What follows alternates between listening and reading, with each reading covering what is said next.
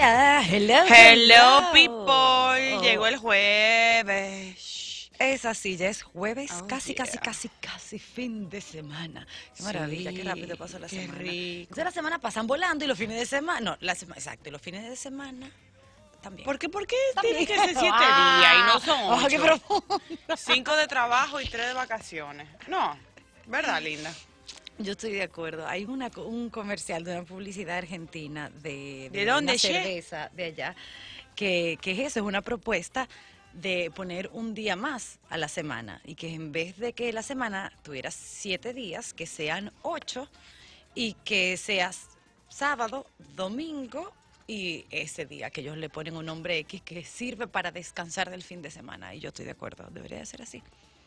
Vamos a crear más vagos.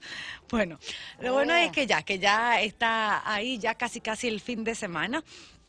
Hoy, como siempre, compartiendo con ustedes el contenido que hemos preparado. La jefa se va a agregar a nosotros. Sí, porque ya le, le tocan los taponcitos del día de hoy. Recuerden que aquí damos eh, reportes del tránsito. Aquí estoy viendo en las redes sociales que el capitán Utecho está informando que hay una patana virada en la autopista Duarte, o sea que ande con paciencia, con calma, ponga su programa de radio, dígase nosotras, favorito. Vamos a reírnos, a pasarlo bien y a tratar de disfrutar este taponcito sin estrés y para que usted pueda sobrevivir en la jungla de hierro llamado República Dominicana. ¿Cuándo fue, Amber, la última vez que tú te confesaste? Cuando me casé, Cuando te casaste. ¿Hace ya cuánto tiempo? tres años. Tres años. Y aquí ustedes, muchísimo. Confesarte, ir a la iglesia y decirle al padre, es Decirle al pecado. padre, padre, es pecado. Entonces usted dice todo su pecado y él, dependiendo de la gravedad, te manda a rezar cuánto, cuánto Ave María y cuánto Padre Nuestro. A, a mí me mandaron pocos, si tú supieras. Bueno, pero la gente que tiene muchísimo tiempo que no lo ha hecho, ya lo podrá hacer en cualquier esquina de Nueva York. ¿Ay, hay confesionarios o hay una aplicación? No, es un taxista que es un padre y él decidió, es un, un pastor que ofrece a sus pasajeros confesarse durante Pues el es una viaje. aplicación también. Es una, es una especie de iglesia rodante. Y es que desde que este ministro religioso, Joseph Jan, decidió empezar a trabajar como taxista, ya no hay necesidad de ir a la iglesia para confesarse, por lo menos en Nueva York. ¿Tú sabes dónde sería un palo? Tú ¿Dónde? tener un confesionario.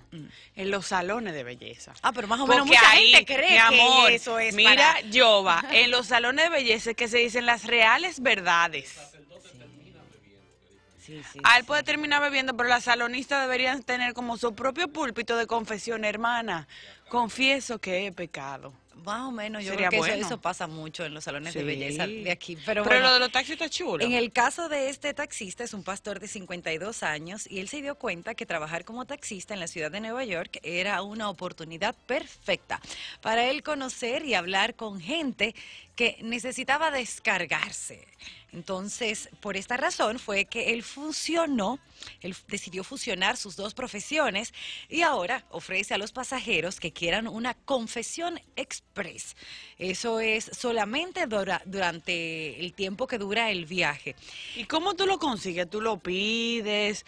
¿Tú te paras en una esquina? O sea, ¿cómo tú sabes que te va a tocar el taxi slash confesionario? Bueno, no sé, yo me imagino que en el momento de que tú te tú paras tu, tu taxi amarillo en Nueva York, el señor te dirá Adelante, hermano. Ave diga María sus pecados. Santísima. Wow. sin pecado concebido, más o menos. Así, bueno, lo que pasa es que el señor este, mientras tanto, dice que él considera que es muy bueno el servicio que está ofreciendo, ya que mucha gente sale de su taxi sintiéndose aliviada y que Ay, eso pero él maneja con sotana, feliz. linda. Linda, busca una foto. De verdad, él anda con su sotana. Es un señor eh, eh, morenito. Eh, bueno, Gua- Ah. ese es el padre. Yosa es un, un pastor, es un, un ministro religioso, Joseph Jan, y él está en las calles de Nueva York, así que quienes anden por ahí o nuestros oyentes de, de, de la Gran Manzana, Ay, puede pero ser mira qué que, que en algún momento le toque esta iglesia rodante. En vez de Dios vuelve en una Harley, Dios anda en taxi. Exacto. Así como más o menos, ¿verdad?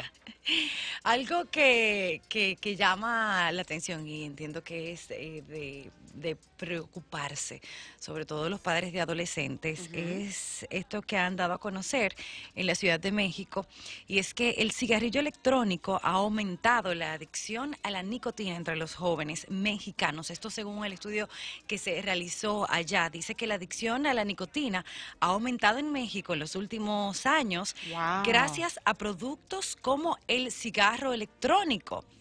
Dicen uh -huh. que esto es lo, lo, que ha hecho que, que, aumente considerablemente, según un estudio del Instituto Nacional de Salud Pública que fue presentado este 19 de julio.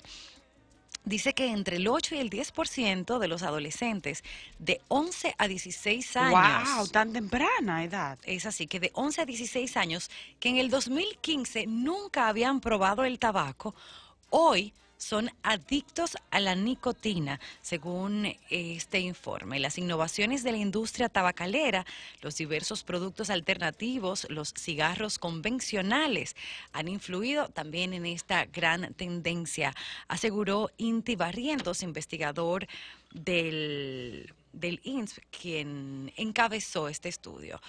Entre estos productos se encuentran, dice, los cigarros light, los puros, pipas de agua, tabaco masticable, cápsulas de sabor y los cigarros electrónicos que son promocionados como menos dañinos, y esto lo ponen entre comillas, porque no es cierto uh -huh. que, que lo sean así. En una conferencia de prensa, este especialista informó que la investigación Tendencias del consumo de nicotina entre adolescentes se realizó entre 10.000 jóvenes de escuelas secundarias de la Ciudad de México, Monterrey y Guadalajara, lo cual muestra una tendencia sólida. Según las cifras, probar cigarros se ha elevado en esa población de menos de 20% a casi el 35% de los encuestados, mientras que más del 90% de los adolescentes han oído hablar del cigarro y un 10% lo consume actualmente, cuando hace un año, en comparación con las encuestas anteriores, esto no sucedía de esa forma. De acuerdo con el doctor Juan Cincer Sierra, el presidente del Consejo Mexicano contra Tabaquismo, las razones por las cuales las tendencias han crecido entre los adolescentes, eh, uh -huh. dice que él piensa que es por tales productos innovadores que, que supuestamente no dañan la salud. A pesar de que los cigarros electrónicos fueron diseñados supuestamente para dejar de fumar, este beneficio no está demostrado. Estos productos acercan a los jóvenes al tabaquismo por la falsa promoción que se le hace. Según este, este doctor, con este tipo de dispositivos se inhalan más tóxicos que con el cigarro convencional.